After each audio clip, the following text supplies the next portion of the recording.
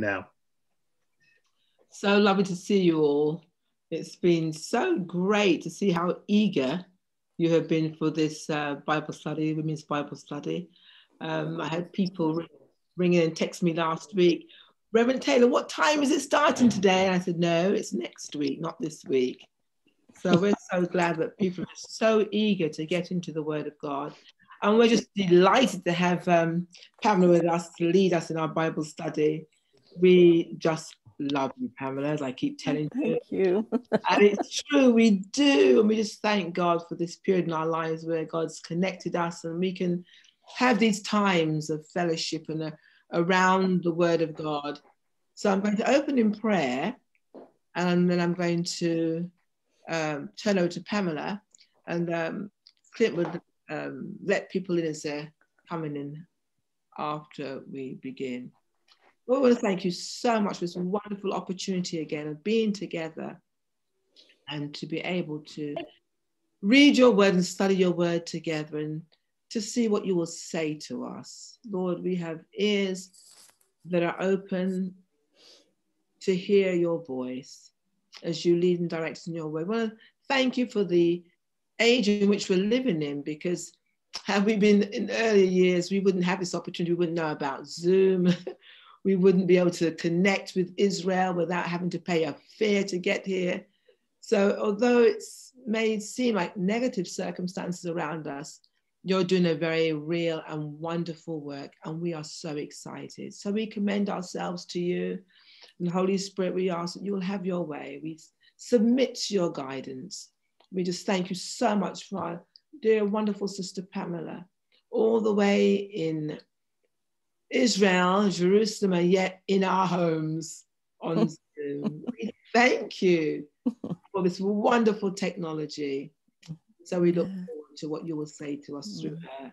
In Jesus' name, mm. amen. Amen. Happy to see you all again. More people coming in. God bless you. Well, good evening from Jerusalem. And uh, it's just the light is fading outside, uh, which means that the three stars will appear in the sky and it will become a new week. Wonderful. So, yes, so we wish each other Shavua Tov, which Shavua means may you have a good week. So, uh, remember the believers in when we read in Acts of the Apostles, they met on the first day of the week. And the day begins in the evening with the sun going down and the stars coming in the sky. That's the beginning of the new day. So believers would meet on what we know as Saturday night, which is the first day of the week. It's mm-hmm. not Saturday, it's already Sunday. Hallelujah. And uh, I'm so glad that you thank the Lord for the technology because uh, it really is a gift. Uh, to us. And we have been able to fellowship with one another, uh, not only here in this Bible study, but also with the roundtable. Mm-hmm. And it's just wonderful that we have this uh, weekly connection, a monthly connection. Uh, it's just really a gift. You know, because before we would see each other maybe once a year. That's right. So I'm thrilled. I really am. And I really do thank the Lord for for Zoom. It's a, a real gift to the body of Christ to to be built up and to um, to progress, to move forward, and to follow the Lord. So we are in the Gospel of John, and we are in chapter two. And a couple of opening words about uh, our read this specific reading of John between all of you in London and me in Jerusalem that we're reading through the eyes of a Jewish person in the first century. That's how we're reading John um, together. So it's a little bit unique, and um, you may not find this particular kind of perspective in a commentary, in a Christian commentary or a commentary on John, uh, because of the fact that Israel, uh, the rebirth of the state of Israel is so new. You know, we're we're about to turn 73 years old mm. as a state. And that's not that's very young for a nation, a reborn nation uh, back in her own land. And all the research that has taken place in 73 years in archaeology and with the language and with ancient literature, uh, it opens up a whole new perspective on things. And so today I'm going to introduce a little bit of archaeology to help to illustrate uh, some, some of the points that we're going to address. So, Esther Rosemary, please, why uh, don't you begin by reading the first four verses and we'll begin to discuss. Okay.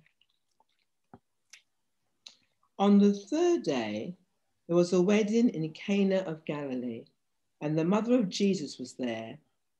Now, both Jesus and his disciples were invited to the wedding. And when they ran out of wine, the mother of Jesus said to him, They have no wine. And Jesus said to her, Woman, what does your concern have to do with me? My hour has not yet come. Okay. Now, it's interesting. I checked in a commentary about this, uh, the beginning, the first verse, and they were going on and on and on, um, circling and circling back and circling over and around and around, trying to explain the third day. It's very simple.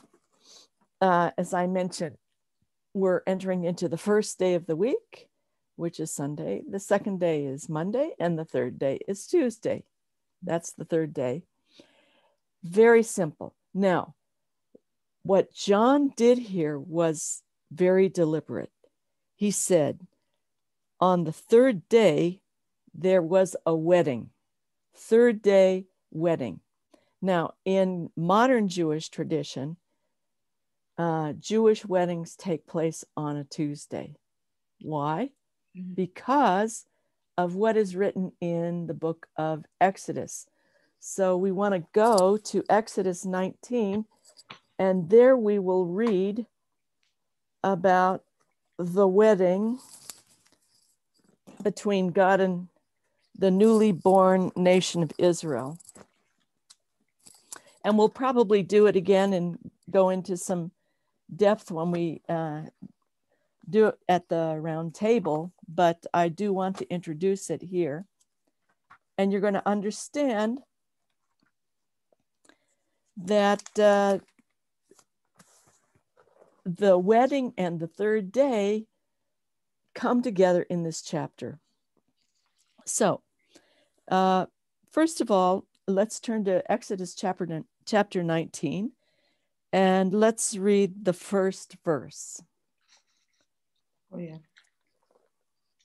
In the third month after the children of Israel had gone out of the land of Egypt, on the same day they came to the wilderness of Sinai.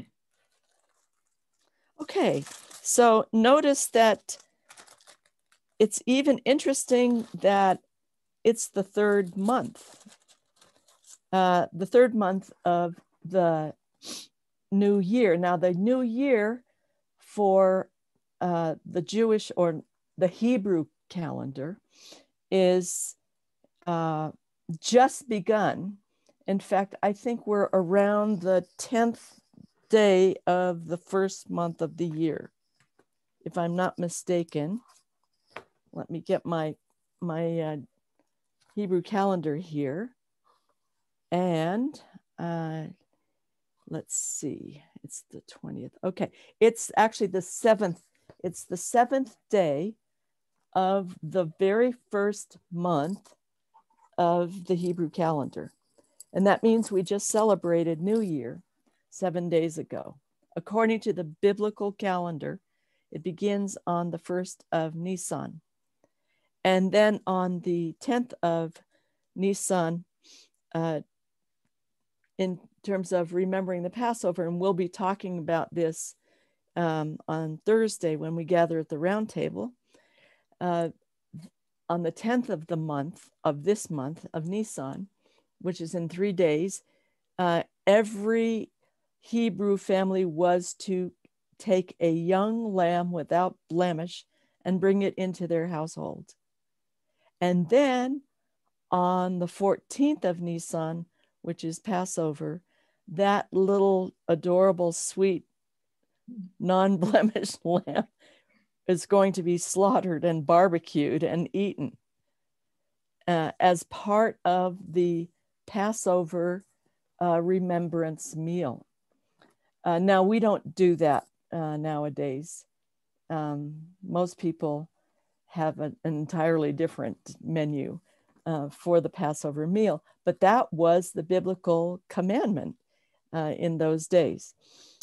Okay, so Israel has gone through the Passover and they have crossed the Red Sea and they've entered the wilderness. And in Exodus 19, they arrive in the wilderness of Sinai. Okay, so, and they they set up their tents and they camp. so, I'm in a, I'm sorry, I'm, I'm switched into my New King James Bible and out of my Hebrew Bible. So, I'm, you know, it's, it's funny how you, when you read, you go to the right when you're reading in English and then the left when you're reading in Hebrew. Okay, so they come and they camp in the wilderness before the mountain, it says. And then Moses goes up to God. Now, um, we're remembering, oh, okay, this is where Moses met the Lord in the first place. This is where he meets him um, at the burning bush, at the Sneh, most likely because it says the mountain. It's not a mountain, it's the mountain. So he goes up to God and he calls uh, to him and then the Lord speaks uh, to him in verse 4. And so, uh, let's see, uh, read verse four, 4, 5, and 6. Of chapter 19. Yes, we're, we're just in chapter 19. That's it. You have seen that I um, what I did to the Egyptians and how I bore you on eagle's wings and brought you to myself.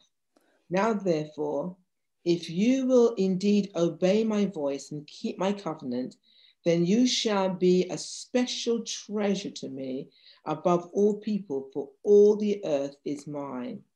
And you shall be to me a kingdom of priests and a holy nation. These are the words which you shall speak to the children of Israel. So, here, this is the marriage proposal right here. The Lord says, uh, if you if you will obey my voice that means you have to listen to his voice obey and then keep my covenant and that says you shall be a special treasure in hebrew am segula a, a, a treasured people like a bride that god is going to regard israel uh, as his bride. And we read about that all the time in the prophets. Uh, if, if you look at pro- prophet Hosea, for instance, or in Ezekiel 16, uh, different places, Israel is referred to as God's bride. And so here he is calling um, Israel as a special treasure to me above all people, meaning uh, he's taking Israel to himself like a bride, and uh, he's not going to marry anybody else but this one, this particular uh, group, this nation. And you shall be to me a kingdom of priests. So that describes a kind of service, a holy nation, which means set apart. Uh, and so then uh, Moses comes down and he talks to the elders. And in verse 8, read that, Rosemary, please. Then all the people answered together and said, All that the Lord has spoken, we will do. So Moses brought back the words of the people to the Lord. Okay, so uh, the Lord makes the proposal, and the people say, Yes, we will do. We will do what we hear, what the Lord commands us. Okay, so then Moses goes back to the Lord, and then here we have the preparation for the wedding, nine, uh, verses 9 and 10 and 11. Well, let's see, 9 through, whoops, I'm going in the wrong direction. Keep turning the page and I shouldn't. 9, yeah, read 9, 10, 11, and 12. And the Lord said to Moses, Behold, I come to you in a thick cloud, that the people may hear when I speak with you and believe you forever. So Moses told the words of the people to the Lord. Then the Lord said to Moses, Go to the people and consecrate them today and tomorrow, and let them wash their clothes, and let them be ready for the third day. For on the third day, the Lord will come down from Mount Sinai in the sight of all the people. He shall set bounds for the people all around, saying, Take heed to yourselves that you do not go up to the mountain or touch its base. Whoever touches the mountain shall surely be put to death. Okay, so the Lord is number one, telling Israel how to prepare for this great moment where this covenant is going to be sealed, uh, this wedding covenant. And this is how um, in, um, I would say, in some circles of rabbinic Judaism that really stick to the word, they believe this is a marriage covenant, um, based on, of course, what the prophets have said that describe this moment of the people Israel at the foot of Mount Sinai. Um, and so the preparation is the washing of clothes and bathing. And so, as it is today in modern Jewish weddings, there is always a full immersion in a, a what we call a mikveh, which is a special, uh, like a little pool, and you full, fully immerse, like baptism. Mm. And um, uh, of course, in modern Orthodox Judaism, they they immerse for several different occasions. But before a wedding, the bride always goes through a ritual immersion, which we call a mikvah. So, and it's based on these scriptures. Wow. Okay, so um, read 14 and 15. So Moses went down from the mountain to the people and sanctified the people, and they washed their clothes. And he said to the people, Be ready on the third day, do not come near your wives. Okay, so everybody was supposed to remain pure uh, before this great third day. And now we we quickly go over to Cana of Galilee, and this is what the bride and the groom had to do before the great their great wedding day when Jesus came to their um, wedding is that they would have to go through this um, purification and ritual washing. So, do you have any comments or thoughts no, just at this point? I was just thinking to myself, you were speaking. It's um, it's like types and shadows.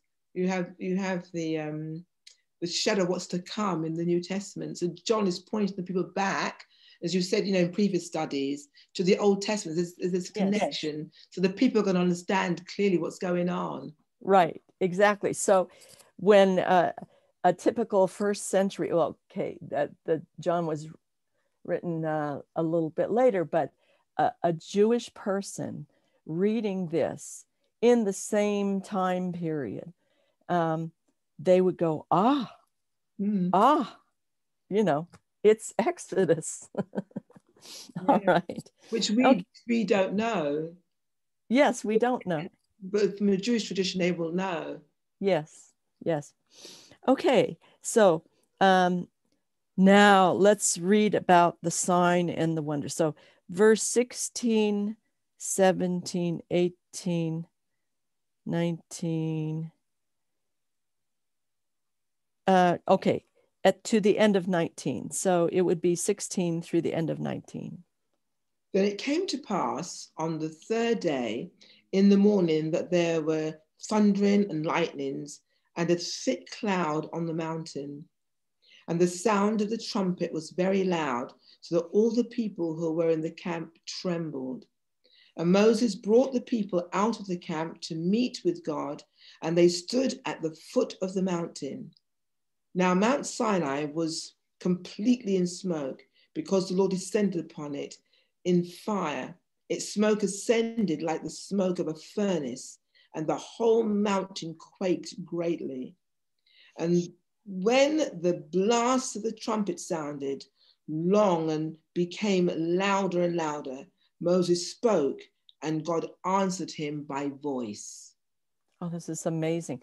So these are signs and wonders. These are new signs and wonders that the people of Israel are experiencing on this day. They've seen the Red Sea parted. They've seen the 10 plagues in Egypt. And now they're seeing this mountain mm-hmm. rumbling and great blasts of trumpets and fire and lightning and thunder. So it's a very dramatic sign and wonder for them to mark the day that they are entering into a wedding covenant with God. Okay, so um, let's just read um, right down to the end of the chapter. Then the Lord came down upon Mount Sinai on the top of the mountain, and the Lord called Moses to the top of the mountain, and Moses went up. And the Lord said to Moses, Go down and warn the people, lest they break through to gaze at the Lord, and many of them perish. Also, the priests who come near the Lord consecrate themselves, lest the Lord break out against them. But Moses said to the Lord, the people cannot come up to Mount Sinai, for you warned us, saying, Set bounds around the mountain and consecrate it. Then the Lord said to him, Away, get down, and then come up, you and Aaron with you. But do not let the priests and the people break through to come up to the Lord, lest he break out against them. So Moses went down to the people and spoke to them. This is amazing. So, this is the first time where the Lord is laying out parameters. Mm-hmm. He is defining a, a space where He is going to be for them, and they are going to be in another space, and they cannot cross that line. And this is actually the, the beginning of how God defines the worship space, which later becomes the tabernacle, which later becomes the temple, where he's going to dwell in the midst of Israel. So it's it's really interesting that he begins it at Mount Sinai, and this is how um, he begins to define the relationship, and then he follows it. Of course, Exodus 20 are the Ten Commandments, and that's kind of like the wedding contract. You know, you're going to these this is what you must keep if you're going to be my people so um, that we'll deal with at the round table at the right time but uh, just know that Exodus 20 is like the wedding contract. So, getting back to John, uh, John chapter 2, uh, you know, we're hardly into the very first verse, and we're, we've already been taken to Mount Sinai. That's how dramatic this chapter is. Of course, every chapter in John is dramatic in one way or another. But for him to say, on the third day, and immediately everybody goes, Oh my goodness, mm. what's going to be happening in Cana? You know, what kind of event are we going to experience in this wedding? Okay, because uh, he says third day and wedding. Okay. So uh, then uh, it we get down really down to earth. This is really interesting because we go from the heights of Mount Sinai and these great and dramatic signs and wonders, and then we come plunging down to earth in Cana of Galilee, where the mother of Jesus comes to him. She says, They have no wine. You know, so they've run out of, they've been drinking all this time and they ran out of their wine. Okay. And then Jesus says to her, in the most earthly manner you can possibly imagine, he says, Ma patlach, you know, hahutza. That's uh, Hebrew for um, what does it matter to you? Out of here, you know, leave me alone. it's it's so funny because we're coming from this dramatic moment on Sinai. John takes us up to the top of Sinai or takes us to the base of Sinai. And now we're in Cana and we're telling our mother to to to leave. It's not time. Leave me alone.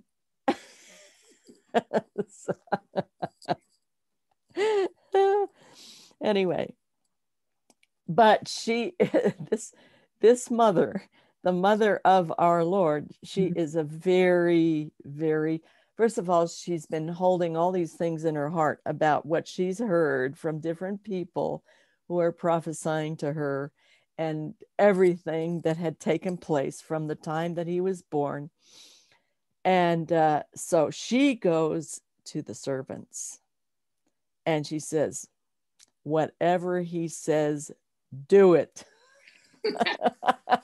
I would love that. Good Jewish mother. okay, so now we're coming to the next uh, section of this chapter. And it's really interesting. The chapter is divided equally into two parts. And then there's this little uh, one verse that separates the two parts, uh, which I'll get to later on. But we're now in um, another part of the first part of the chapter. And uh, this is all going to be about uh, the water and the wine and the water pots. And it's very interesting that John should mention a bunch of storage pots. You know, what's the big deal about the storage pots, the water pots of stone? What are we talking about here? What's uh, what's the deal? So, um, Clint, I'd love to have the pictures now because I'm going to show you some of the stone vessels. Um, right here, you see a beautiful stone cup on the left. These are all from around the time of Jesus because this is what they used. And then there, here's a little drinking cup to the right on your screen. Uh, let's look at the next slide. Okay, now this, oh, thank you for doing, he fixed it up so nicely. This is actually a clay jar but what it held were scrolls of God's word. That's how they, you didn't have books like we have today, where, you know, all the pages are sewn into a codex. Um, you had every book of the Bible was a scroll and it was rolled up and then it was stored in a clay jar like this one. Okay, let's look at the next slide. Now, these are really interesting. Uh, these are ink wells, and those were mainly used by the priests who were scribes, and they used these to copy the word of the Lord. Because they were uh, because they didn't have a printing press they were constantly copying the books of the bible. And this required a tremendous amount of discipline to be able to copy from one scroll to another without making any mistakes. And mind you, they were writing with uh, pens that were carved out of uh, reeds, uh, marsh reeds that you uh, would find down at the Dead Sea. And then they were dipped into this ink, which was um, uh, charcoal from grapevines mixed with a little bit of resin uh, to make the ink. And then they wrote on goat skins, the skins of goats that were sacrificed in the temple. So uh, you could not make a mistake because there was no, uh, I have, I use, um, I do a lot of copying. And so I use this white out, this, uh, that you simply go over the ink. Uh, and no pencil erasers or anything like that. You had to be perfect. So it required really a lot of discipline, and nobody had glasses, and they did it by the light of an oil lamp. So you can imagine the rigor that was involved in copying a book of the Bible. So these are very special, the inkwells and what they represent. Uh, let's look at the next slide here. Okay, this is one of the stone jars, probably not the one at Cana, but this is what they look like. And so the water uh, was in the jar uh, it was stored in there to about 20 or 30 how does it say in here? Uh, 20 or 30 gallons a piece in the uh, new king james uh, could go into one of these jars stone jars.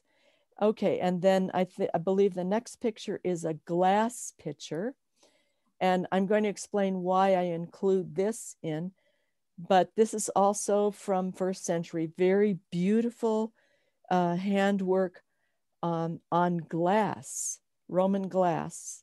Um, and that was used to pour out beverages into uh, drinking cups. And then let's see, I think it's the last, yeah, this is the last slide. Now, this is a table made out of stone.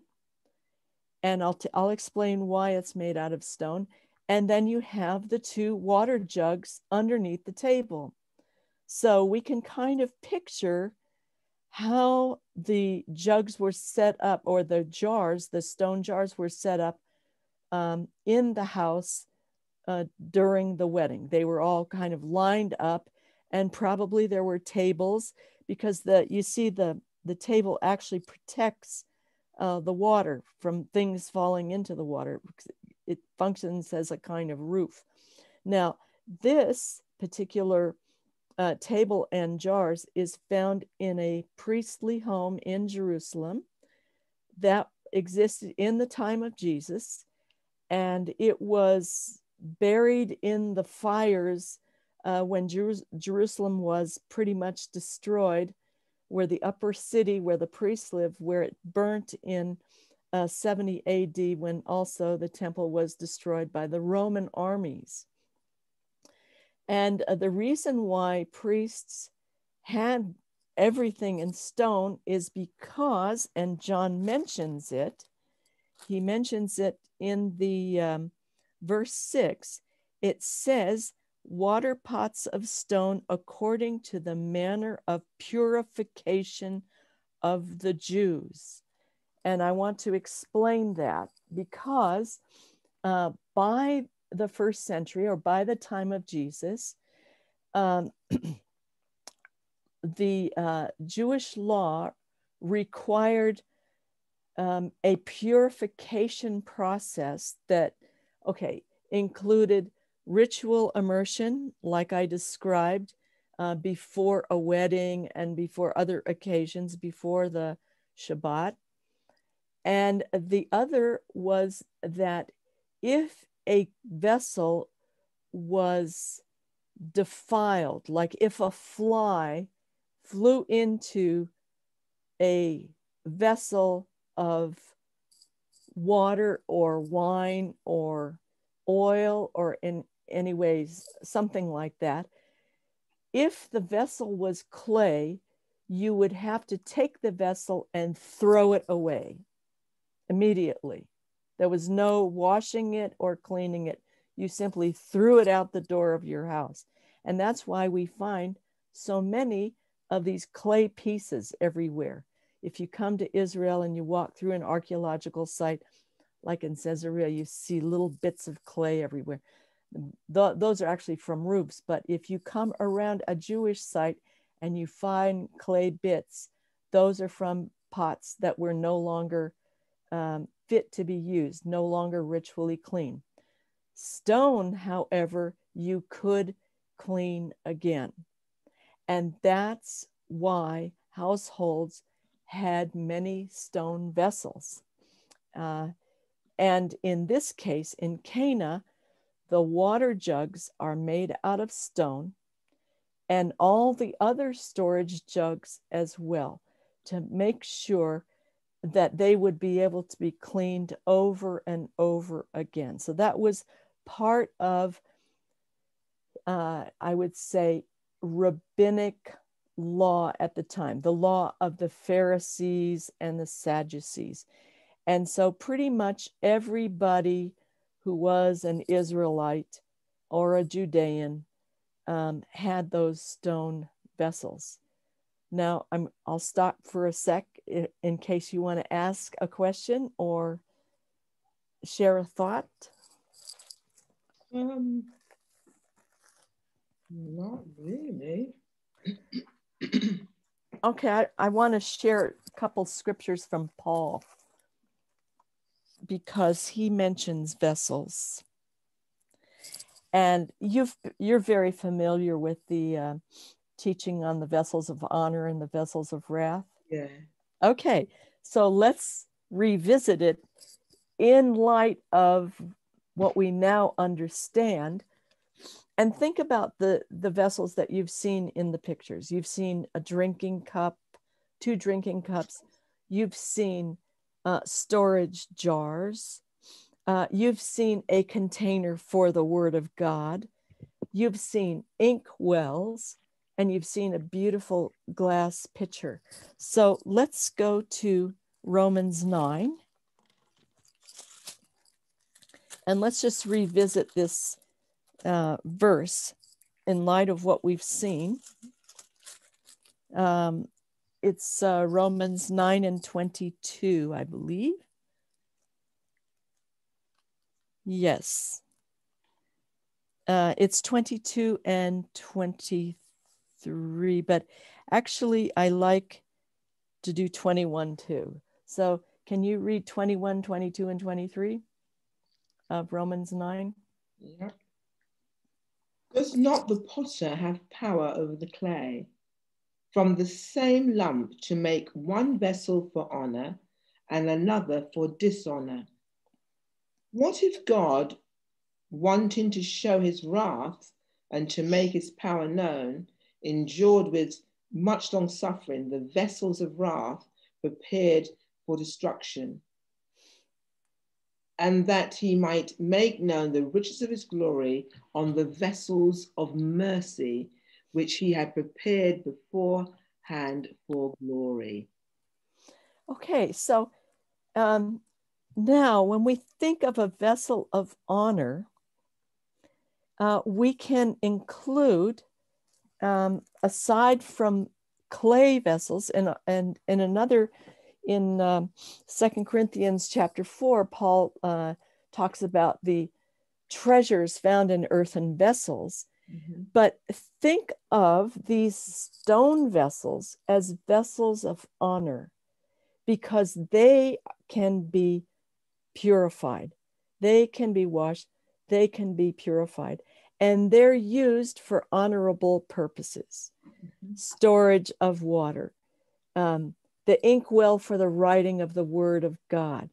The uh, now the clay pot for the storage of the word of God, the pitcher for the pouring of a beverage, and um, and so forth, drinking cups and so forth.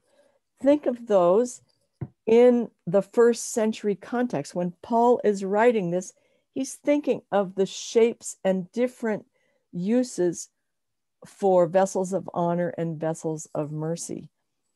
Um, because, of course, that's they had many different kinds of vessels, and the vessels of wrath, of course, were vessels that had to be thrown away because they were no longer ritually clean. They could no longer be used. So, does that help to illustrate that a little bit? Yeah. it, it, I think it, it kind of uh, rung home for me because uh, I guess when I first heard that teaching, which was a, a long time ago, mm-hmm. um, I was thinking of, you know, a golden or a silver vessel. Now, those were used in the temple. And uh, in according to uh, Jewish law, those things were found in the temple. But in the priestly houses, even those who served in the temple, they had stone vessels. And then they, of course, they had beautiful glass as well. So uh, that's really interesting that John makes a point um, to, to mention that the water is sitting in these stone vessels and by the way, making them, uh, most of the manufacture of stone vessels took place up here in Jerusalem. Um, around in the city, they found a few of the places where they manufactured them. And they had lathes. They would take a stone and just simply run it down the lathe, and then it would make a um, the inner part of it, and then they would carve the outer part. Uh, so they had all manner of ways of making the vessels.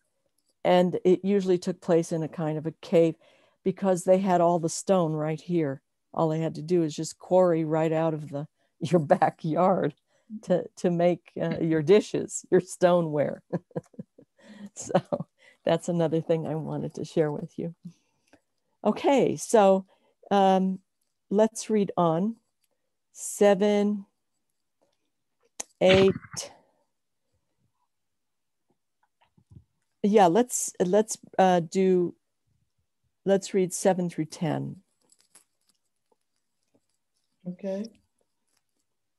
Then Je- uh, jesus said to them fill the water pots with water and they filled them to the brim. And he said to them draw some out now and take it to the master of the feast and they took it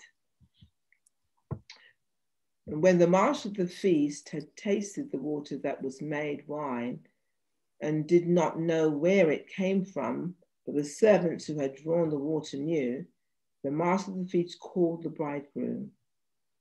And he said to them, Every man at the beginning sets out the good wine, and when the guests are well drunk, then the inferior. You have kept the good wine until now. Okay.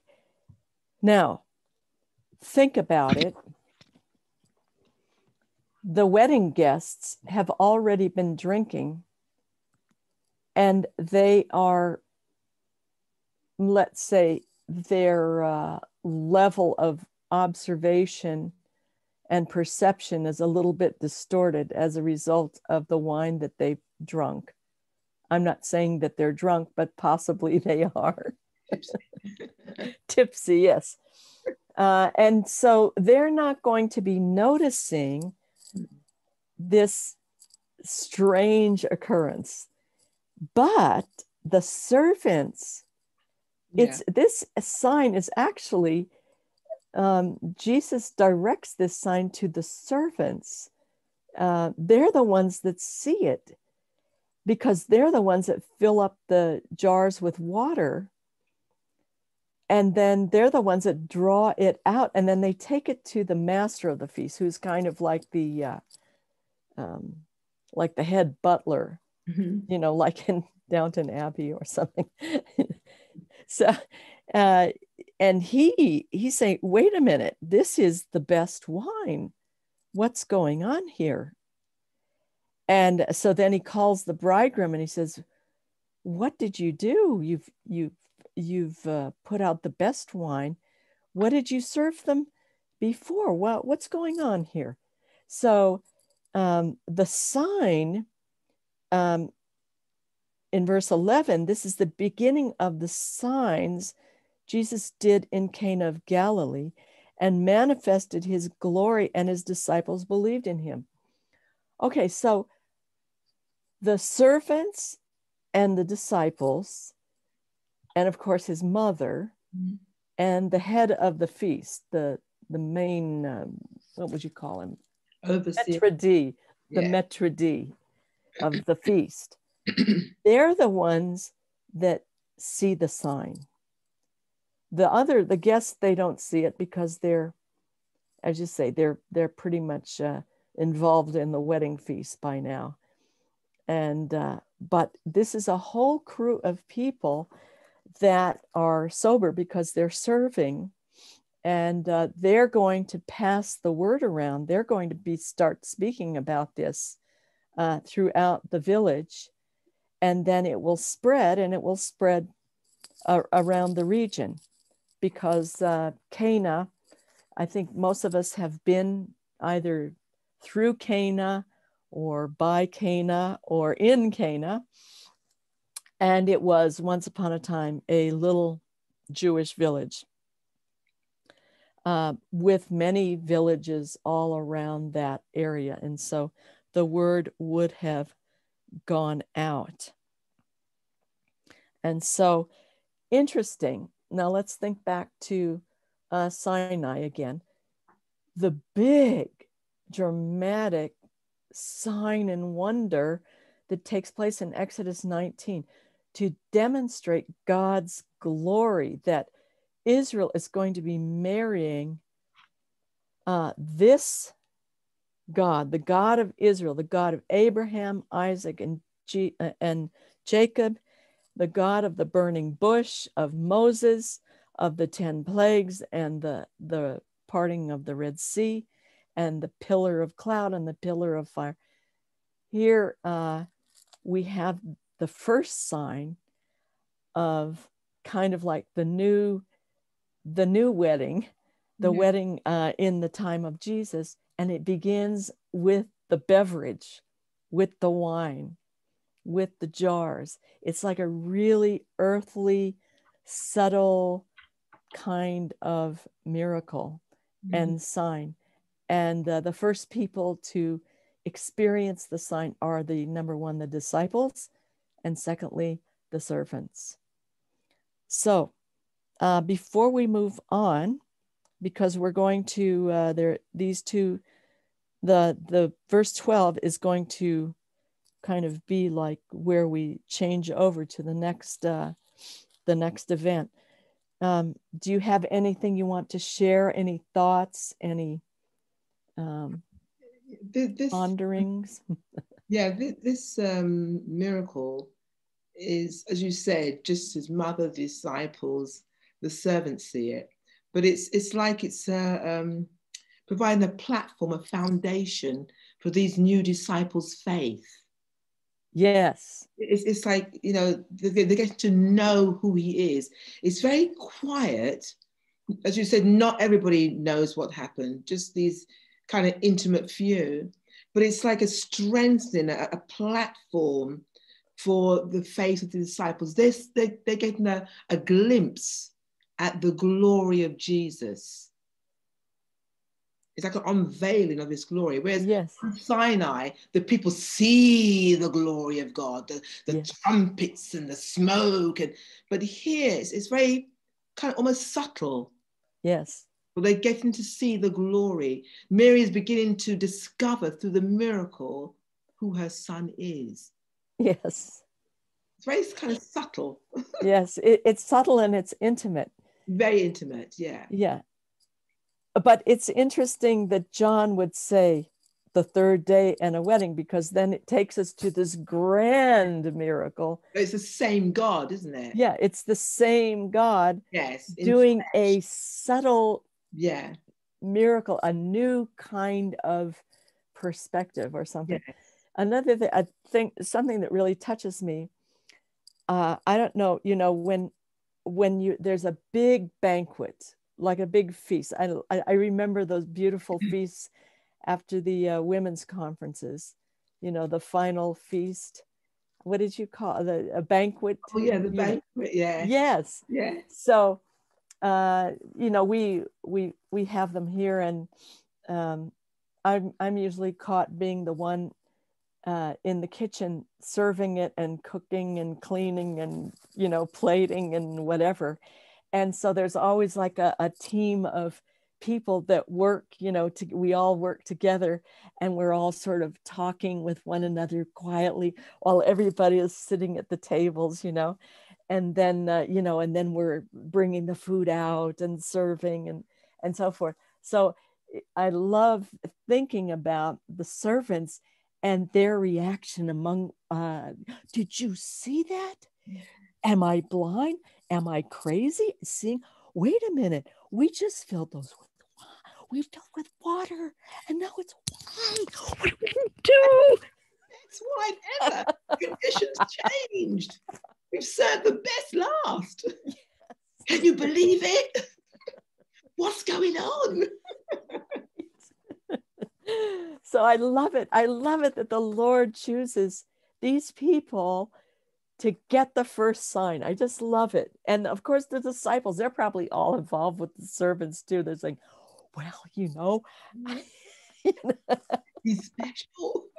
Keep your eyes on him. right he knows what you're thinking. yeah. You, you, you've got to follow this man. He's amazing. right. So this is uh, this is the wedding at Cana.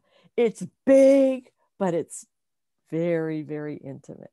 Yeah. The sign is really intimate and really special and really targeted to one type of people. It's it's yeah. just brilliant. It's wonderful. So here comes this one verse, and it, and this kind of, if you know the topography of the land, this is a, a, a big drop because Nazareth is way above sea level, and Capernaum is way below sea level. Mm-hmm. So it's quite a, a descent uh, down to Capernaum. So uh, in this verse 12, after this, he went down to Capernaum. He, his mother, his brothers, his disciples, and probably some of those servants too, because they were so, and uh, and they did not stay there many days. Now, here's something.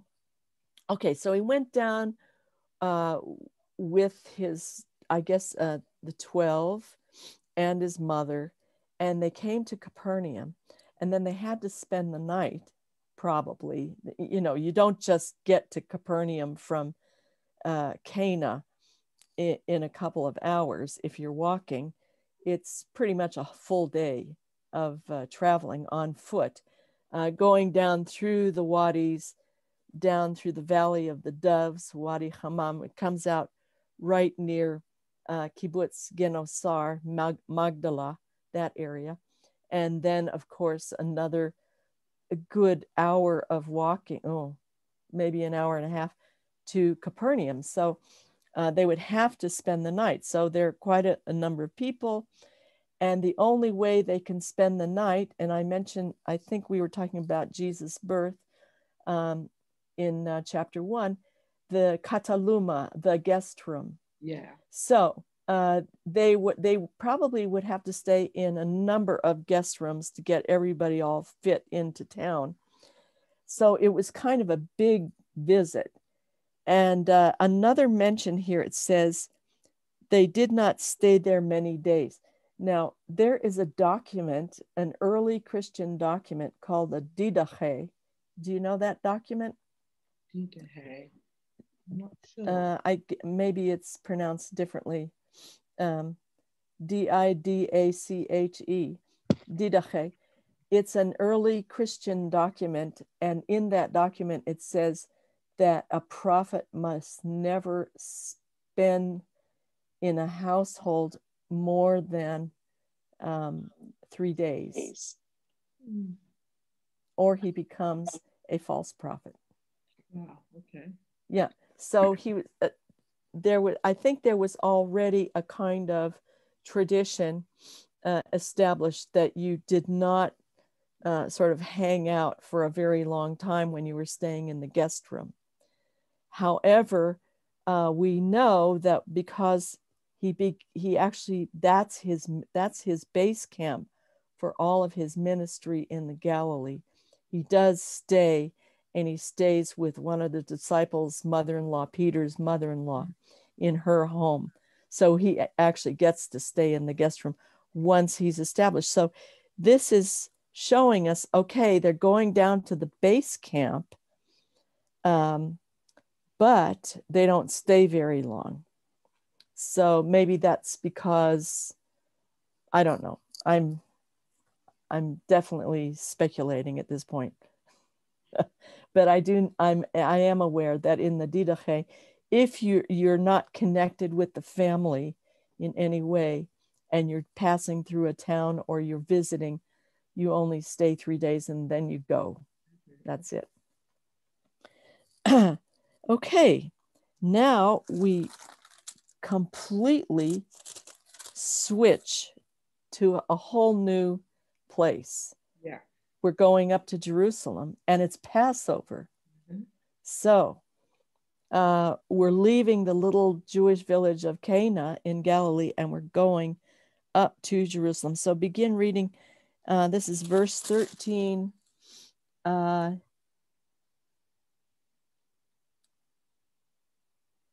let's see, verse 13 to the end of 17.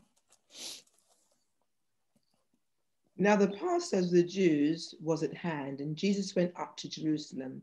And he found in the temple those who sold oxen and sheep and doves, and the money changers doing business. And when he had made a whip of cords, he drove them all out of the temple with the sheep and the oxen, and poured out the money, the changers' money, and overturned the tables. And he said to those who sold doves, Take these things away. Do not make my father's house a house of merchandise. Then his disciples remembered that it was written, Zeal for your house has eaten me up. Okay, so here we go. We there's really a lot of material here. First of all, we've got Passover, Mhm. and second of all, we've got the temple and what's going on at this particular time in the temple. So, uh, moving on, we have um, number one pilgrimage up to the temple. So we're going again go to uh, Deuteronomy 16, 16 through 17.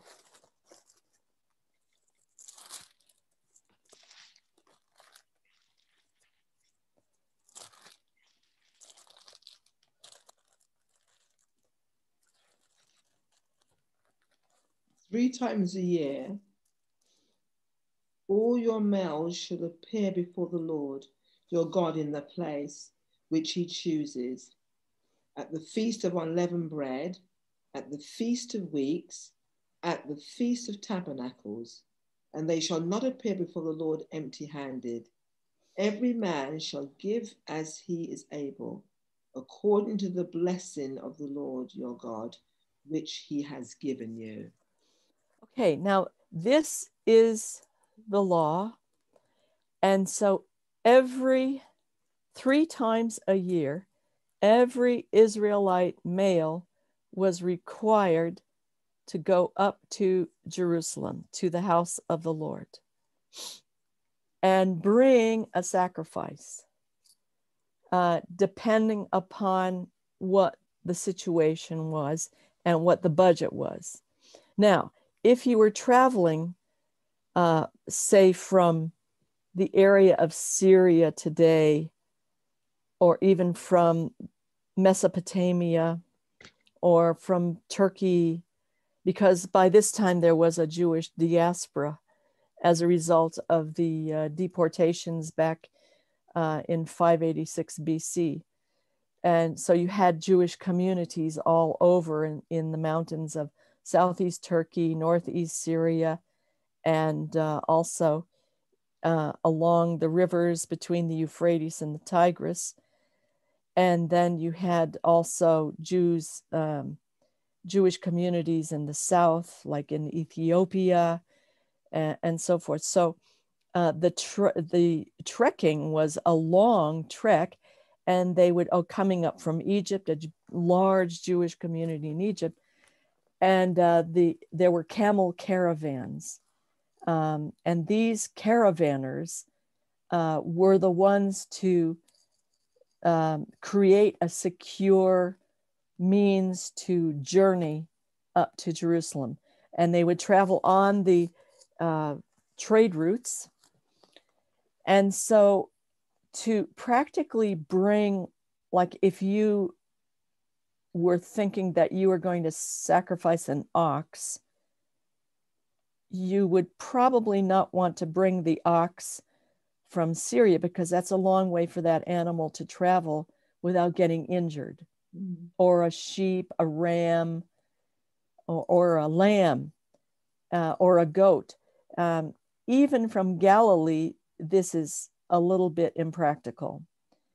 And so, what happened was the uh, those who were in charge of the temple, the Sadducees, the priesthood, uh, set up like a market um, around the temple. Uh, the southern steps of the temple area to to the right there was a market, not to the right, but to um, the western side of the that area. Uh, there was a, a large market where they would sell the animals because they had to be unblemished and they had to be healthy and not scrawny. Uh, and uh, they were clean and everything. And then the other thing was they had to change their money, their currency, to the temple coin. And that, so it was necessary to have money changers. The problem was, is they moved, most likely, they moved the market upstairs for more convenience. And they had it in the southern part called the Royal Stoa, which is a very, very large hall with columns that was open, but it was close to the temple. And it created a racket that would have interfered with all the worship, with the singing of the Levites, because they are singing the Psalms 24 7 on the steps uh, leading up to the court of the Israelites. So, this animal market and the money changers, there was a lot of shouting and a lot of noise from the animals and a lot of bargaining and negotiating going on. And so it created this brouhaha, and uh, that really, really was a disruption.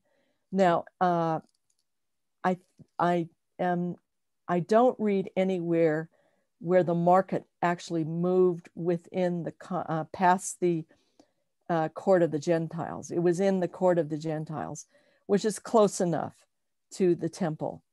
Uh, but once you cross the uh, wall of partition that divided the court of the Gentiles to the temple complex, then you came into the court of the women and you had other things going on in there. Um, for instance, you had um, the the four chambers that were uh, run by the priests. There was one for the lepers. When you got cleansed as a leper, you came to the priest and you presented yourself. Remember when Jesus heals the lepers he uh, he says, "Go and present yourself to the priest." That means go up to Jerusalem, go to the chamber of the lepers, and present yourself. Then there were those like Paul, when he fulfilled his Nazarite uh, vow, he would go to the chamber of the Nazarites. That's another chamber that was inside the court of the women. Then you had a chamber for uh, the wood for the altar. So there was a priest in there managing all the wood because they had to constantly bring it in. And they had Levites uh, carrying the wood.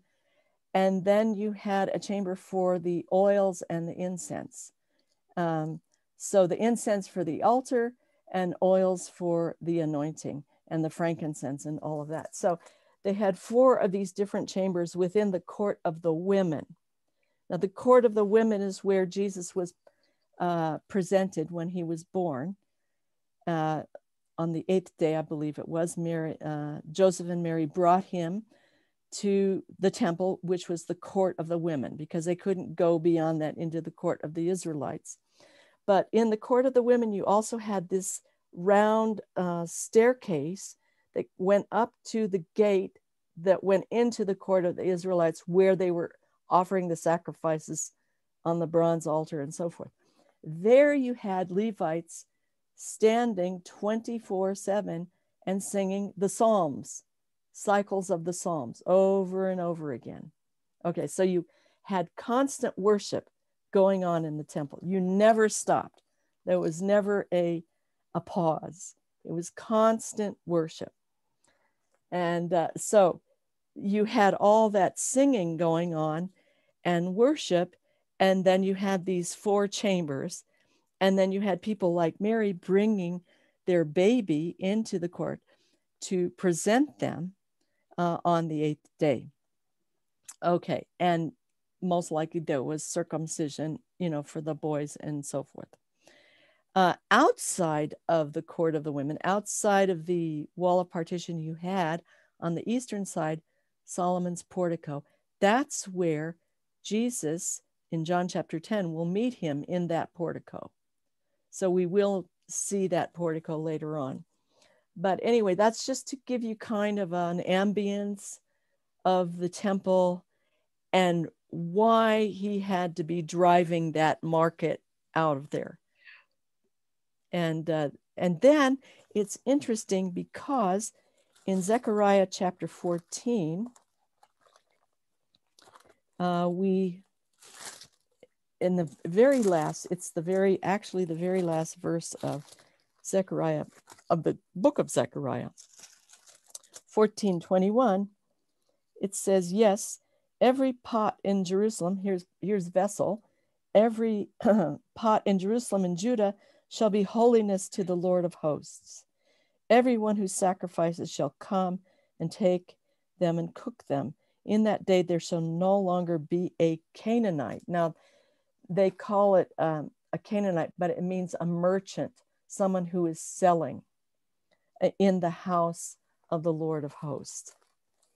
Mm-hmm. Okay, so that's uh, means someone who's trading, who's yeah, you know, negotiating, and so that's uh, where it's mentioned. And then, of course, uh, the the actual uh, quote from Psalm sixty nine, which is zeal for my house has consumed me or has eaten me up. Um, that is in uh, Psalm 69. Where where did I put it? Never mind. It's uh, 6911, I think. It's 99 because zeal for your house has eaten me up, and the reproaches of those who reproach you have fallen on me. Psalm uh, 69 9.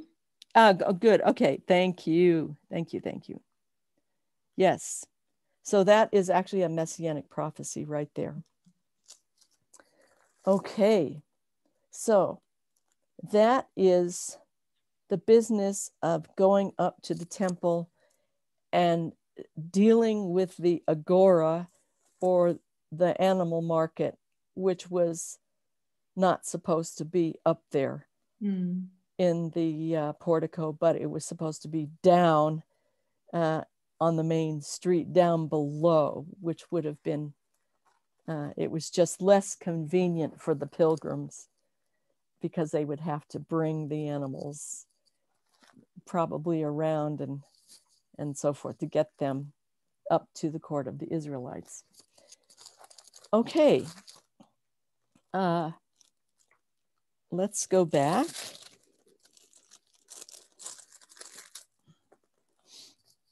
Now, uh, so here we come, and now we're going to have a confrontation, and I have to um, clarify about this confrontation. So read uh, 18, 19, and 20 and 21.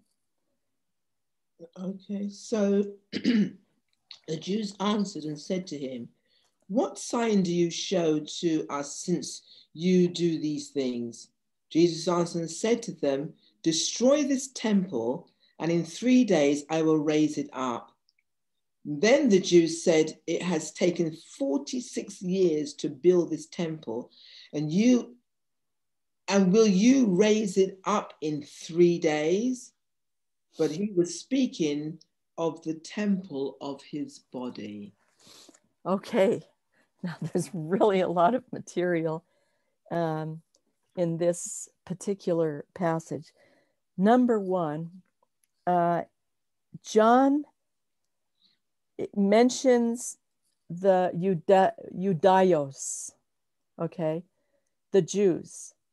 Now, that's something that we have to discuss because uh, this is where the term is first used. It's actually introduced into Israelite vocabulary when um, the people of Judah who were in exile in Babylon with the destruction of the first temple in 586 AD. I mean, B, BC, sorry, BC. Um, when they return, they are under Persian rule. Uh, Babylon, the empire of Babylon has fallen and it is now under Persian rule. That happens in Daniel. And uh, so the Persians rename uh, when they send back the people from exile back to Jerusalem, uh, there is a governor appointed to rule over the district. So this becomes a Persian district, and they call it um, Judea. Okay? Mm-hmm. So this is going to be 515 BC, where uh, between 539, which is the rise of uh, Cyrus, the decree of Cyrus. Then we have the books of Ezra and Nehemiah. And there, then there is a return uh, from exile in Babylon to rebuild the temple. There's been a decree given by Cyrus to rebuild the temple and then to uh, resettle the province or the district of that they now call Judea. Now, before this area, this district was known as the tribe of Judah and the tribe of Benjamin before the destruction of the first temple, because this was the allotted tribal territory given when the people Israel crossed over the Jordan River from their 40 years of wandering in the wilderness under Joshua. They cross uh, under Joshua and Caleb. By this time, you know, we've gone through several books of the Bible. you know, we've uh, gone through Joshua, Judges, and First and Second Samuel, and First and Second Kings, and then comes the destruction of the first temple, and then there is the exile to Babylon. You have all the prophets. Jeremiah is is a, a prophet in this time, and then you have, after 70 years, there is the decree of Cyrus. And then you have the books of uh, Ezra and Nehemiah. Of course, you have the book of Daniel, which is straddling uh, both uh, times. And you have also the prophet Ezekiel. So um, those people return and they become Judeans. Mm-hmm. And in Greek, later on, with the conquest of Alexander the Great, uh, in Greek it's called Judaios. And in English, it's translated Jews. So, in terms of the people Israel who came out of Egypt, they were known as the Hebrews. And that word Hebrew comes from the word avar. Now, um, in Hebrew, Hebrews means ivrim, and you can hear the root in there. It's avar. Avar means to cross over. Okay. And that is when Jacob, when he was returning from um, um, his uh, uncle Laban, he came from Mesopotamia. He came from Mesopotamia over to the eastern um, part of the Jordan. He had the encounter with Laban. Then he struggled with the angel. He got the new name Israel. And then he crossed over the Jordan with the 11 sons. Mm-hmm. Okay. So yeah. that's where they get the name Ivri or Hebrew. Okay. They crossed over. so they're living in the land and then they end up in Egypt through Joseph, etc. And so they're Hebrew, they're still called Hebrews in Egypt. And then when they come out and they come to, to Sinai and they have this wedding covenantal ceremony, they become the people Israel. Okay. Okay. Yeah. And then when they get to the land, then they're parceled off in their 12 tribes. Yeah. And then when they go to Babylon, you have uh, no, before they go to Babylon, there's a split in the kingdom after Solomon. And the northern kingdom are called the kingdom of Israel, and the southern, they're called the kingdom of Judah. Judah yeah. Then the exile, and then they come back, and then they're called Judeans. So in John, what John is saying here is he's talking about the religious leadership in the district of Judea because it was different than the district of Galilee, which is Galilee.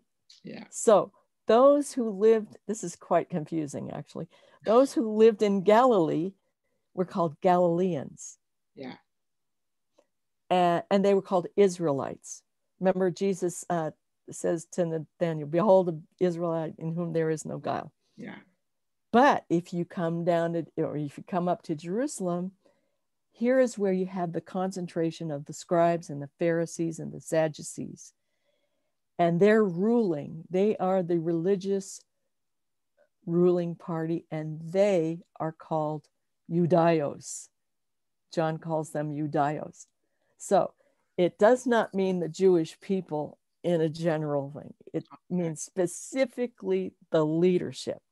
So uh, when we hear the word Jew in John, we are talking about religious leadership in Jerusalem.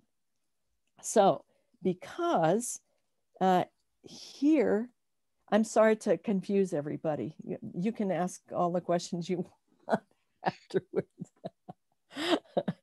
it, it's quite confusing to see the kind of the how the names sort of evolved through history.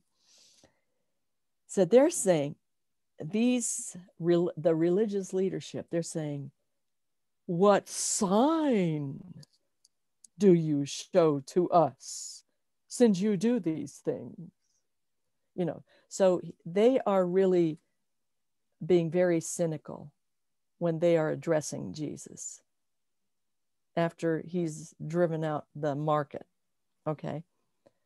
So this is a very sort of, I'm trying to help you to understand the, the attitude of these, the, imagine all these priests standing around. you know. Yeah, they saw themselves as the um, the guardians of the faith.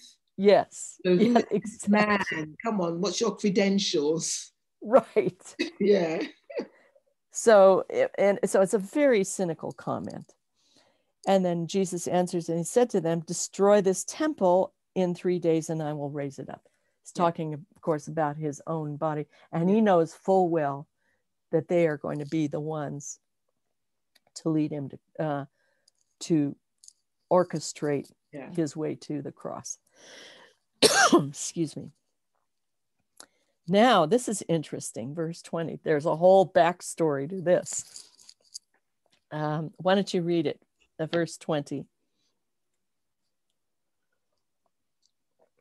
Then the Jews said, It has taken 46 years to build this temple, and will you raise it up in three days? Okay, now let's do the math. Uh, for, it has taken 46, they're right. It has taken 46 years to build this temple. Now, but they didn't build the temple from scratch. This is what happened. Cyrus makes the decree in 539. This is in the book of Ezra, beginning of the book of Ezra. In fact, we could even go there. If I can find it in my English Bible.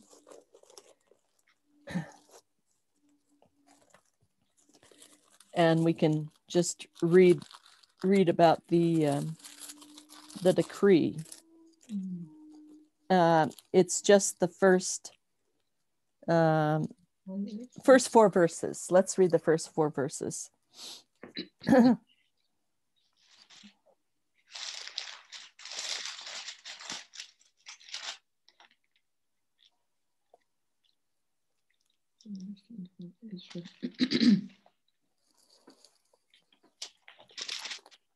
Ezra, what chapter?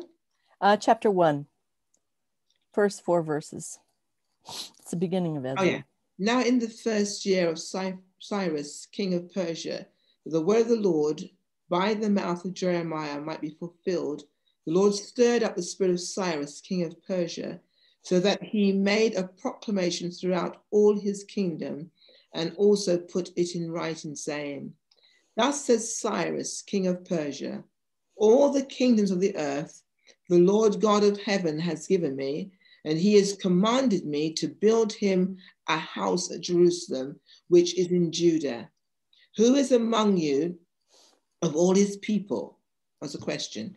May his God be with him, and let him go up to Jerusalem, which is in Judah, and build the house of the Lord God of Israel. He is God, which is in Jerusalem, and whoever is left in any place where he dwells, let the men of this, his place help him with silver and gold, with goods and livestock, besides the freewill offerings for the house of the Lord, which is in Jerusalem. Isn't that amazing that he is so specific about geographically pointing out that the house of the Lord is to be in Jerusalem?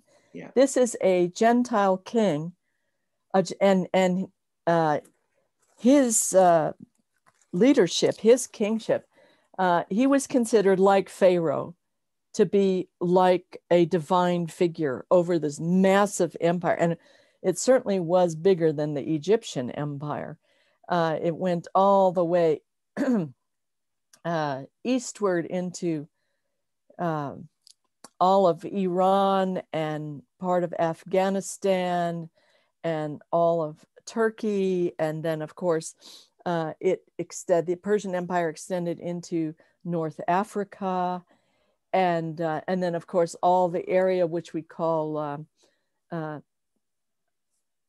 uh, it's uh, Syro-Phoenicia, which is Lebanon, Syria, Jordan, um, Israel today, and so forth. So it was a massive kingdom. And he even points out, he says, uh, Judah, which is how it's pronounced in, in English, but he is uh, calling the district Judea. Uh, you know, this is a renamed province, and uh, the person who rules over the province is a governor or a satrap. So he is making the decree. The people um, who belong in Jerusalem, those exilees, they are to return to Jerusalem and build, rebuild the house of God. And that was the policy of the Persians uh, when Cyrus uh, rose to power, uh, was uh, wherever a people had been conquered by the Persians, they were to rebuild their temples. So it that was the common policy, and so he's making this decree, having really, I mean, he doesn't understand that he's being used by God to uh, bring the Jewish people back to Jerusalem and to rebuild the house of the Lord, which is very, very important. And so 539 BC is the beginning of what we call Second Temple period. And it goes right on up to 70 AD when the temple is destroyed.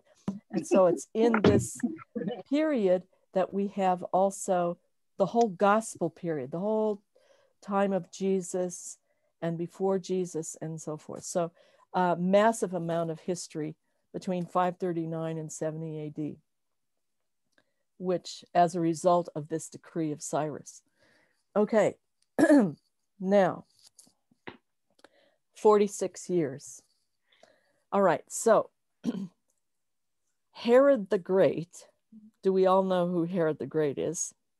Yes, he is the uh, king. He's actually referred to as the king of Judea, mm-hmm. or uh, when it's translated into English, it's the king of the Jews. So he is the king of Judea. And uh, he has uh, sons. Uh, uh, Herod Antipas, of course, was ruling over Galilee. And then Philip was ruling over the district to the north of Galilee, ra- around uh, the Mount Hermon area, the base of Hermon, and uh, the springs there, um, the Mount Hermon Springs, which is known as Banyas. And then there was uh, another son named Archelaus, and then a daughter.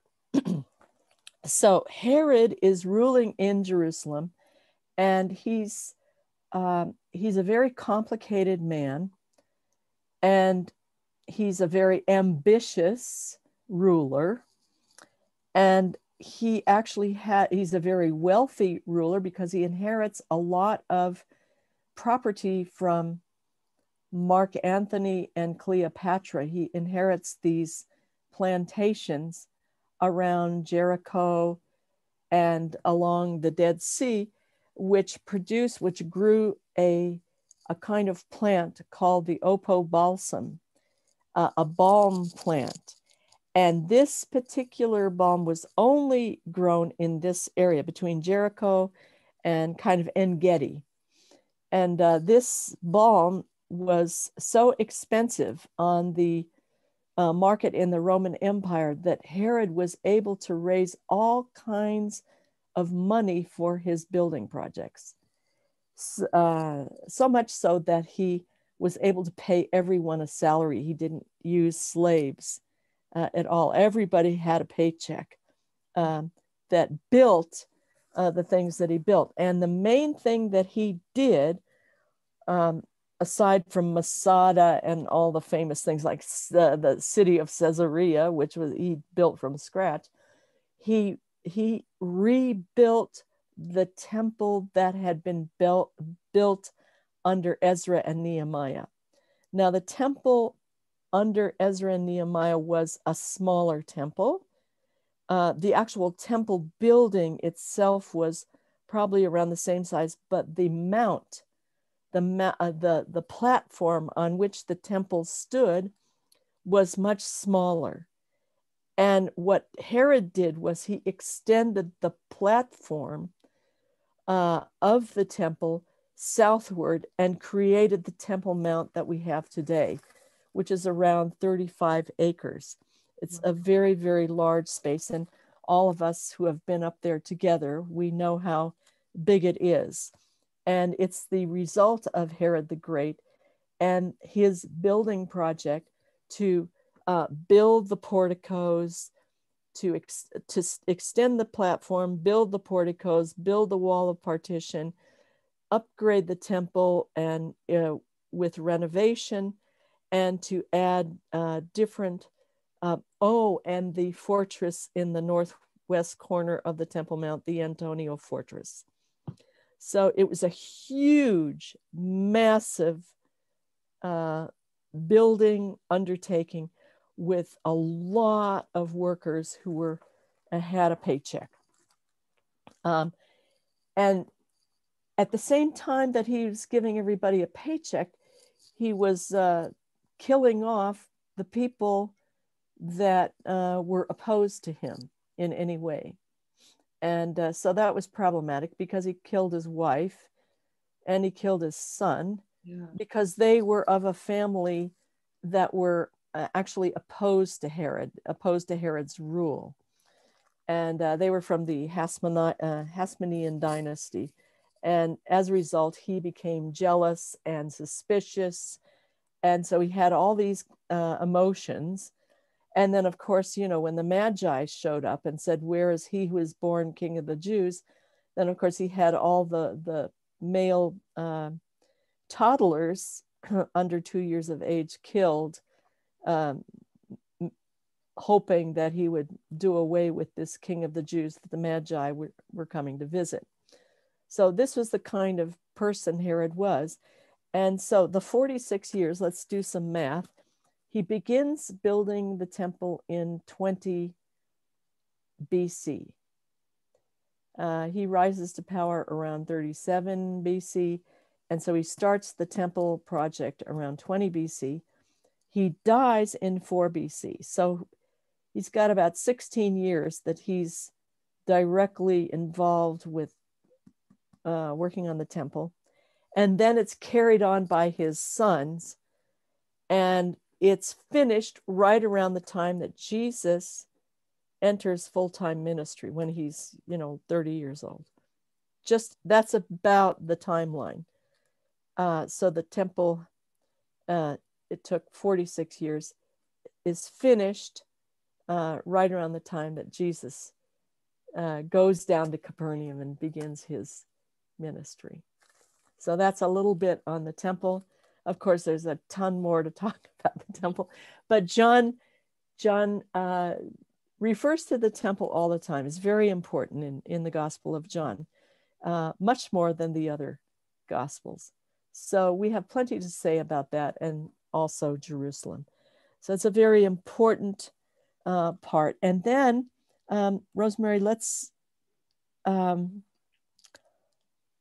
uh, read 21 right down to the end of the chapter, and then we'll address that. But he was speaking of the temple of his body. And therefore, when he had risen from the dead, his disciples remembered that he had said this to them, and they believed the scripture and the word which Jesus had said. Now, when he was in Jerusalem at the Passover during the feast, Many believed in his name when they saw the signs which he did. But Jesus did not commit himself to them because he knew all men and had no need that anyone would testify of man, for he knew what was in man. This is so key. Um, we can we can take it on the level of our own um, selves and understanding our sinful nature, uh, Psalm 51. But I also want to add the dimension here that there was tremendous corruption already in Jerusalem at this time amongst the religious leadership. There was corruption with the priesthood in the temple, corruption with the Sadducees, and definitely corruption with the Pharisees. Mm-hmm. And uh, as a result, of course, we know they plotted to kill Jesus because uh, they did not want their uh, leadership to be undermined in any way by any person who would be coming along uh, claiming to be the Messiah. And they were very paranoid. Uh, it's interesting. Uh, let's see. It says, um,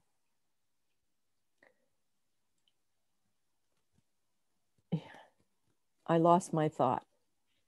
Um, yeah, here it is.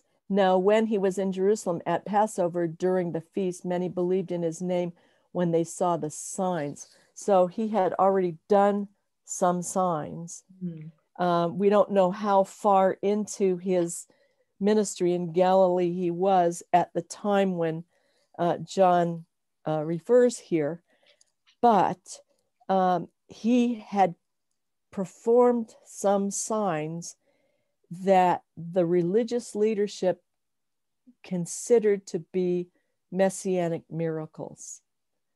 Uh, the first one was the healing of the leper. Uh, the second was the uh, healing of the deaf and dumb boy. And those two we know were in Galilee. And then the third was the healing of the man born blind, which John will address.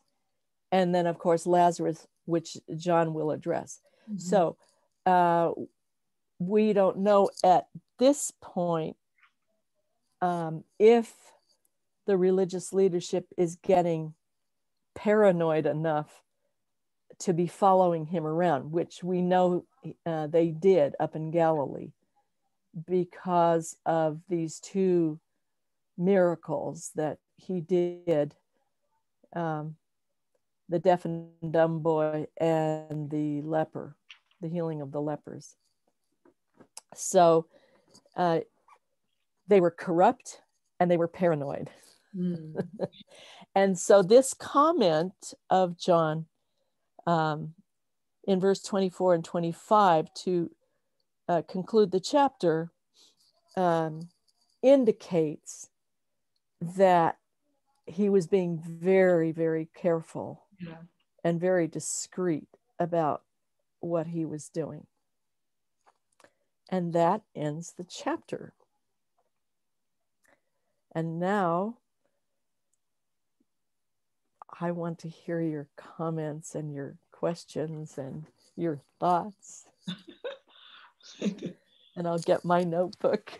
Yeah, we're going to, um, what we're going to do is going to allow you, if you have a question or a comment you want to make, um, just one by one, just unmute and make. And we want to thank you, this. This is such an in-depth and thorough study. It was absolutely incredible. So I must say that. Thank you. Praise the Lord. it was amazing. He's the teacher. It was amazing. So, uh, if you have a comment or a question to ask, just unmute yourself and, and speak, and then you can mute yourself and Pamela will answer.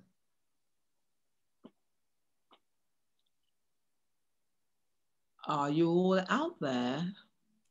They're all, I see them all. Oh, let me put my view on so I can see them.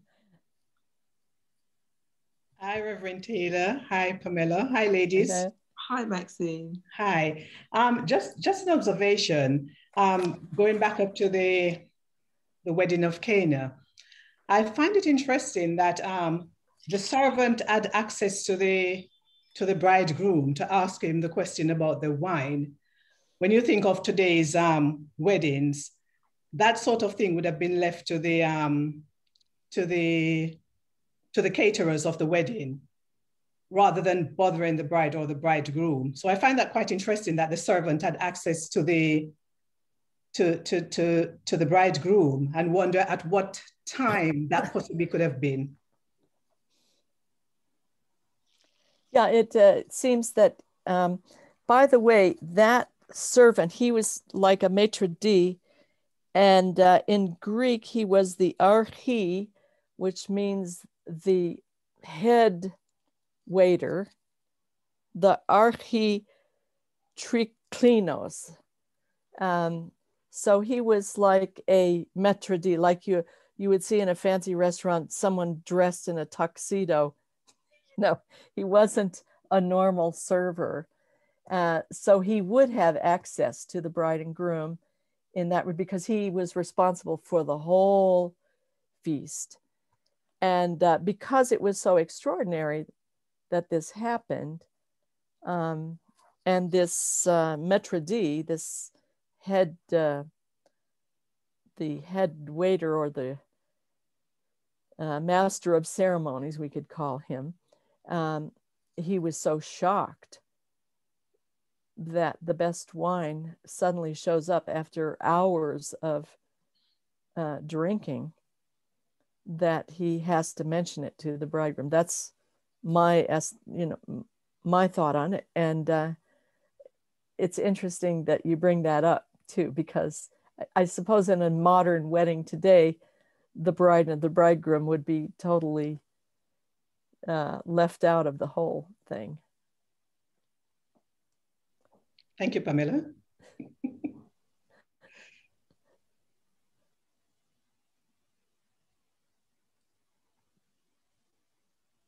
Anyone else?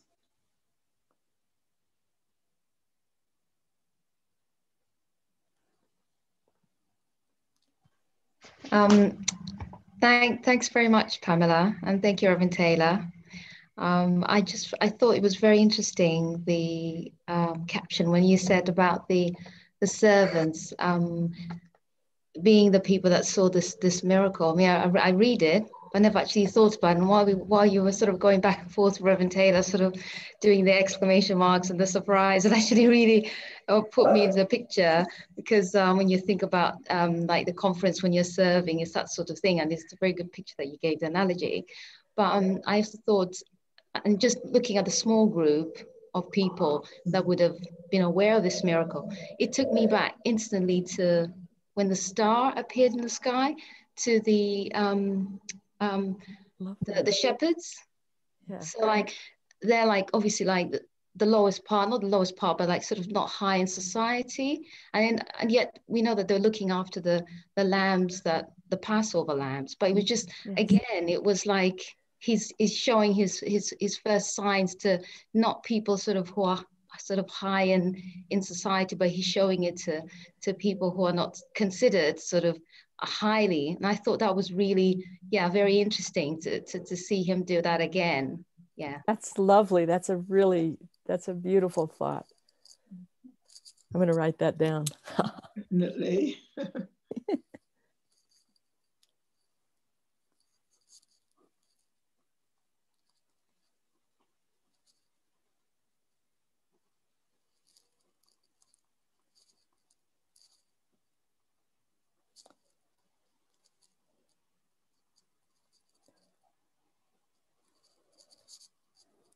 Anyone else have a comment or a question? Hello, good afternoon. It's me, Angela. Hi, Angela. All the way from Hello. Reverend Taylor and the Pamela. My mind goes back to the, the this this marriage where Jesus was invited. I'm wondering if at any time Jesus being there, were the guests expecting any supernatural anything from him. Because they were so amazed some of them when the water was turned into wine. Or they just looked at him as some ordinary person. Uh, it says here that it was his first sign. So I s- sincerely doubt that anybody at the wedding had any kind of expectation. They just probably saw 12 or 13 men showing up and and uh, the mother. And uh, that's about it. I'm sure and and of course they had also been already pretty much uh, feasting away. So uh, it just like when you're in a wedding, you see people come in and go out. I, I don't think anybody had any idea this was going to take place. This was a total surprise. It was because I don't think anyone knew anything was wrong except those who knew the wine had run out. Right. So they they knew there was a potential catastrophe because um, we don't. I don't. It is not suggesting these people are wealthy. They're ordinary people. But when you're having a wedding, you're supposed to have enough money to um, provide for your guests. And I read somewhere in a commentary that if um, you didn't provide enough food or wine, you could be fined. Mm, really? So, yeah. so it was, um, as far as people was concerned, it was a normal wedding. They must have, they were assuming everything was provided for. Mary was invited. Jesus, her son, went. The disciples were there. So I don't think anyone uh, uh, initially thought anything. They were having a good time, enjoying the wine, tastes good to them. And they would never have known that the wine was inferior if Jesus hadn't done the miracle. But I believe Mary was the only one that knew. Yes. She might have felt um, embarrassed on, for, the, for the, her friends when she heard the situation. Um, it's possible catastrophe. This this will be talked about for years to, you know, in the future. So it was it was it was on the brink of total disaster. So I think the only person that could have possibly thought that anyone could save the day it would be Mary. Yes. That's why she went to Jesus and told him what happened. And he said, you know, why were you telling me, why are you concerning me about this? My, my time hasn't come you know, well, would you come to me about this? But she knew that if anyone could save the day and the day needed to be saved, it could only be Jesus. And I think that's also why she said, because she knew that he could do anything. I mean, she brought him up, so she knew he could do anything. She knew the prophecies about her son. So here, here is a, a brink of a, a tragedy. Jesus, we need your help. And she says, that's why she says to the servants, whatever he tells you to do, do it. Because she knew that something out of the normal had to happen because they had no time or perhaps money to go and buy more wine. Something had to happen instantly. And she knew that the only person that had the ability to do something instantly was her son. Yes. And that's why she said, whatever. Because if she didn't tell them that, and he said what he was going to say, they wouldn't have done it. They would think this is absurd. This is nonsense. It's water. We, we don't want water. We want wine.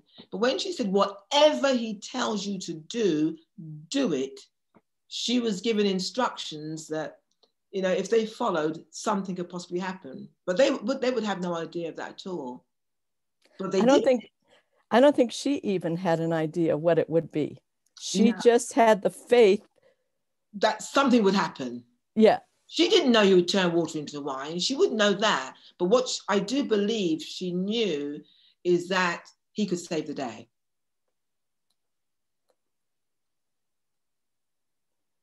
But she didn't know how. I love it.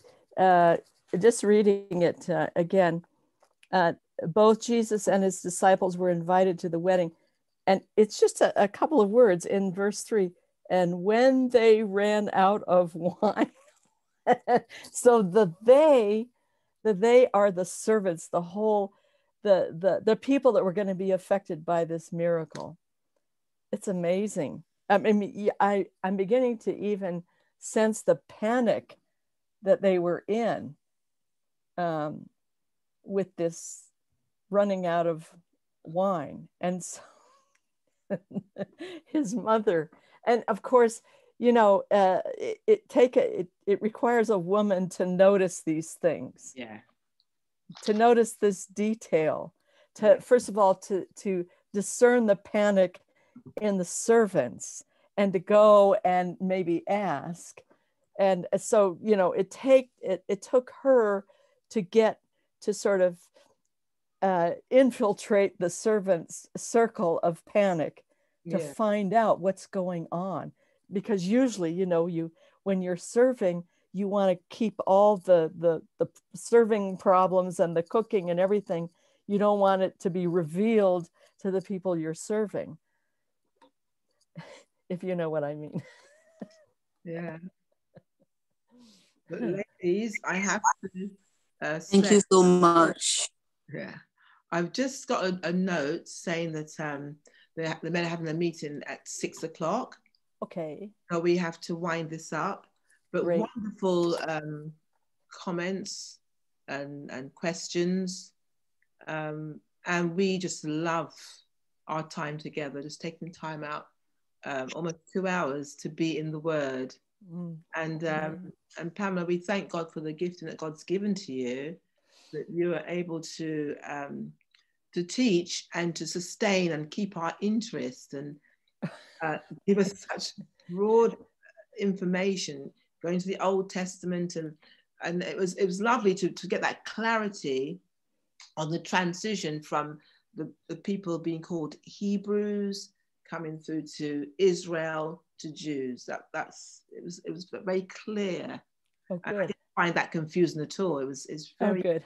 Thank you. Transition. Um, and sometimes people wonder, you know, uh, when when were they is, Israelites? When are they? Um, when were the Hebrews? It, it, can get confusing in that way, but you show the transition. I thought that was wonderful, and many many other things. Thank but um, ladies, I'm going to close in prayer, and then we're going to take a few minutes to say hi, goodbye, greet each other, so that the, there's enough time for them to begin their next meeting. Pamela, love you even more. Thank you. I love you too. and thank you all, ladies, for sacrificing um, your Saturday afternoon. It's lovely to see so many people on.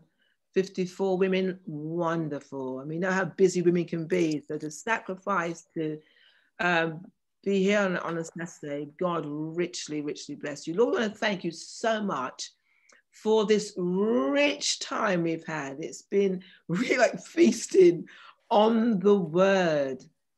I want to thank you so much for your daughter, for your servant who you have brought to the kingdom for such a time as this to be able to bring forth your truths. We have enjoyed every moment and we look forward to going back over our notes and in these scriptures again to just to think that in one chapter so much came out. We thank you so much for your servant John that this could be recorded, that we could have time to go through this word. Thank you, Holy Spirit, for the desire you place within us to hunger and to thirst after righteousness and to, to want to eat of your word. Thank you for touching our minds and unfolding your truths continue to take us deeper still, we pray. In Jesus' name.